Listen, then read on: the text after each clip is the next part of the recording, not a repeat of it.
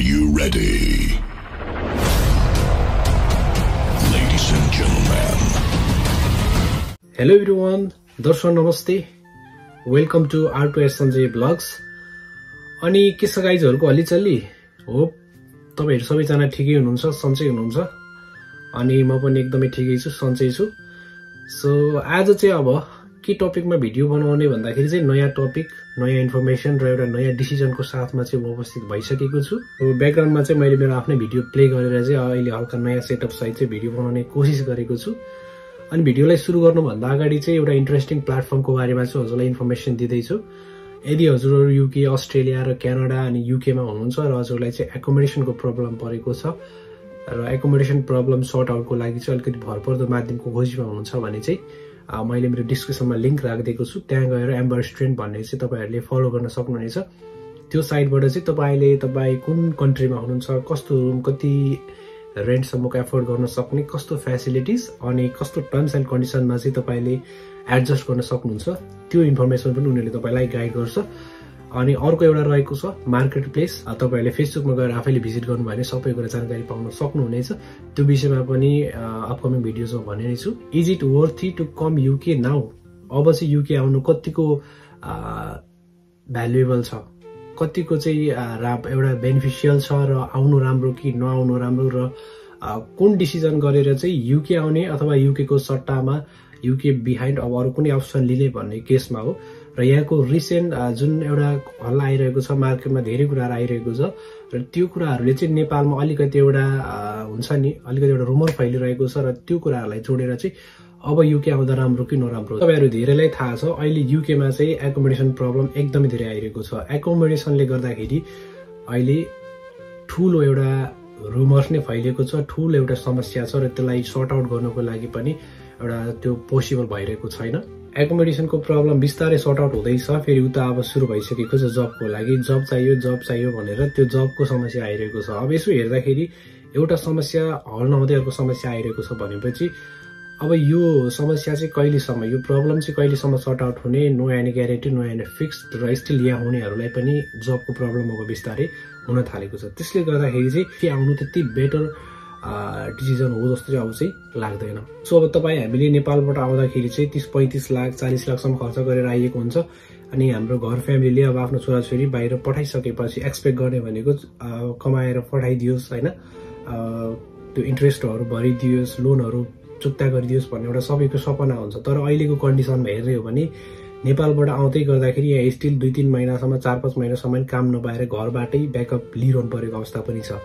होइन त्यो भोलि कहिलेसम्म रहन्छ थाहा हुँदैन। त्यसैले यो कन्डिसनमा चाहिँ सम्पूर्ण गार्जेन्सहरूलाई चाहिँ म के एउटा इन्फर्मेसन दिन चाहन्छु के एउटा रिक्वेस्ट गर्न चाहन्छु भने यदि हजुरहरूले आफ्नो छोराछोरीलाई अब जुन नयाँ इन्टेकमा जुन सेप्टेम्बर अक्टोबर इन्टेक अनि जुन जुलाई अथवा मे अप्रिलको इन्टेकमा चाहिँ हजुरको छोराछोरीको यदि अब प्रोसेस गर्दै हुनुहुन्छ भने बरु मिल्छ भने युकेको फाइललाई चाहिँ केही टाइम चाहिँ क्लोज गरेर अस्ट्रेलिया क्यानाडा होइन अथवा अरू कुनै युरोपियन कन्ट्रीहरू चाहिँ पठाउँदाखेरि राम्रो र केही टाइम ब्रेक गर्दा नै राम्रो हुन्छ। किनभने युके त्यति राम्रो बेटर प्लेस अहिलेको कन्डिसनले र यो अहिलेको प्रब्लमहरूले गर्दाखेरि चाहिँ नहुने देखिएको छ। अहिलेको केसमा यहाँको युनिभर्सिटीहरूको फी पनि एकदमै हाई छ। युनिभर्सिटीको फीहरू भनेको अहिले पन्ध्र हजार सोह्र हजारसम्म छ। अनि रेन्टहरू त्यस्तै महँगो छ ग्रोसरिजहरू त्यस्तै धेरै महँगो भएको छ। अहिले ट्याक्सहरू यति धेरै बढेको छ होइन। त्यो कुराहरूलाई त्यो पोइन्टहरूलाई पनि हेर्ने हो भने चाहिँ अब युके आउनु त्यति बेटर डिसिजन चाहिँ जस्तो देखिँदैन। त्यसले गर्दाखेरि पनि तपाईँहरूले युके पढ्न आउँदै हुनुहुन्छ भने घर फ्यामिलीको एउटा ब्याकअप लिएर आफ्नो एउटा पोजिटिभ माइन्ड बनाएर आउँदा राम्रो हुन्छ। कन्सल्टेन्सीहरूले चाहिँ स्टुडेन्टलाई त्यहाँ गएर राम्रो छ काम पाइन्छ। त्यो केही टाइमको यस्तो उस्तो हो होइन? त्यो हल्ला मात्रै हो रिमर्स मात्रै हो भन्ने कुराहरूलाई जोडेर चाहिँ नेपालमा रहनुहुने केही कन्सल्टेन्सी म सबैलाई भन्दिनँ तर केही कन्सल्टेन्सीहरूले विद्यार्थीहरूलाई मोटो रकम लिएर सर्भिस सहित सहित धेरै कुराहरू लिएर चाहिँ कन्सल्टेन्सीहरूले स्टुडेन्टहरूलाई चाहिँ एउटा ब्याक बिहाइन्ड द रियालिटी के छ थाहा नभइकन चाहिँ स्टुडेन्टहरूलाई पठाइरहनु भएको छ। नेपालबाट अहिले युके आउनुभएको स्टुडेन्टहरूले accommodation jobs language university fee enrolment induction एभ्रिथिङमा चाहिँ स्टेप वाइज स्टेपमा चाहिँ प्रब्लम भोगिरहनु भएको छ। तर त्यहाँ हेल्प गर्नको लागि कन्सल्टेन्सीको एकजना मेम्बर पनि हुनुहुन्न र यदि रेस्पोन्सिबल भएर त्यो कुरा भन्ने हो भने नेपालमा यस्तो रहेछ यस्तो भन्यो भने उनीहरूले त्यो रिप्लाई पनि गर्दैन रिसिभ पनि गर्दैन। होइन? उनीहरूको काम भनेको त्यति मात्र हो। तपाईँको फाइल हेरिदिने हो। तपाईँले युके पठाइसकेपछि तपाईँलाई जस्तो सुकै प्रब्लम होस् जस्तो सुकै वर्स्ट कन्डिसन आओस् तर हेल्प गर्नको लागि भनेको तपाईँ आफू र तपाईँको फ्यामिली बाहेक कोही पनि हुँदैन। त्यसैले कन्सल्टेन्सीको भरमा मलाई कन्सल्टेन्सीले यस्तो गर्छ उस्तो गर्ला होइन?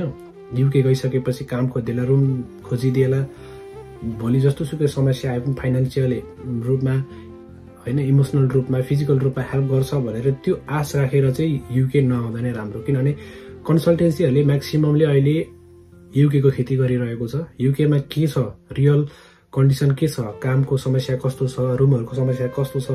यहाँ हुने स्टुडेन्टहरूसँग एउटा कुनै पनि कोअपरेसन नगरिकन रियालिटी के छ त्यो विषयमा नबुझिकन चाहिँ अचुवाको भरमा एउटा हावा न्युजहरू दिने स्टुडेन्टहरूलाई चाहिँ प्रलोभनमा पार्ने र राम्रो छ। अँ ठिक छ बेटर छ पैसा कमाइन्छ सबै एभ्रिथिङ फिट एन्ड फाइन छ भन्ने खालको कुराहरू चाहिँ अहिले त्यो स्टुडेन्टहरूलाई र गार्जेनहरूलाई भनिरहनु भएको छ। तर यहाँको रियालिटी भन्ने भने not that like they are saying कति धेरै सोधिरहनु भएको थियो। त्यहाँ चाहिँ अब अनलिमिटेड काम गर्न पाउँछ अरे। है सुरु भइसक्यो अरे।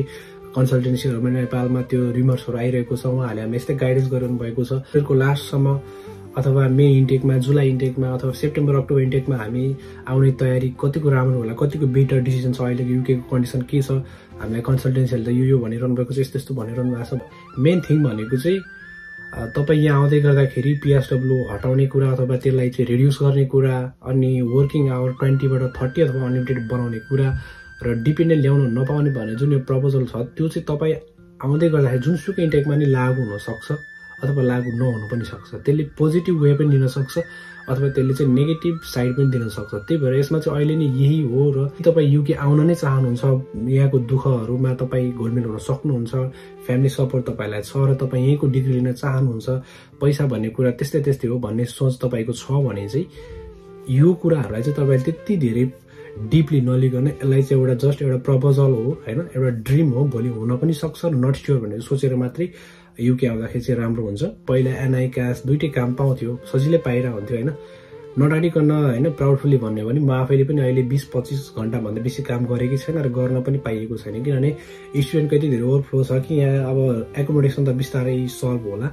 अब यो अपर्च्युनिटिज इम्प्लोइमेन्टको कुराहरू पनि बिस्तारै त्यसले चाहिँ नक गरिरहेको छ क्या युके आउने कि नआउने युके भन्दा अरू कुनै कन्ट्री रोज्ने हो कि युके नै अब नआउनुको पछाडि के छ त रिजन होइन यो विषयमा चाहिँ मैले यहाँ भएको रियालिटीलाई चाहिँ converting into my emotional plus experience with some updates यहाँको बारेमा चाहिँ यहाँलाई जानकारी गराउने कोसिस गरेको छु। भिडियोलाई एकपल्ट राम्रोसँग हेरिदिनु होला सुरुदेखि अन्तिमसम्म भिडियो हेरेर भिडियोबाट केही इन्फर्मेसन लिने कोसिस गर्नु होला भिडियो राम्रो लाग्यो मन पर्यो भने चाहिँ च्यानललाई सब्सक्राइब गरिदिनु होला लाइक गरिदिनु होला कमेन्ट गरिदिनु होला अनि सेयर पनि गर्न नबिर्सनु होला अर्को भिडियोमा फेरि भेट्नेछौँ। तपाईँको समय शुभ रहोस्।